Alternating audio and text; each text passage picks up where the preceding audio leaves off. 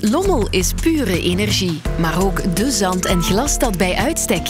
In het Glazen Huis, het Vlaams Centrum voor Hedendaagse Glaskunst, creëren kunstenaars in het glasatelier dagelijks schitterende glasobjecten. Maar je kan er ook wisselende tentoonstellingen bekijken, met, rond en over glas. Wil je een uniek geschenk of aandenken? Keuze genoeg in de glasshop. Meer info via hetglazenhuis.be.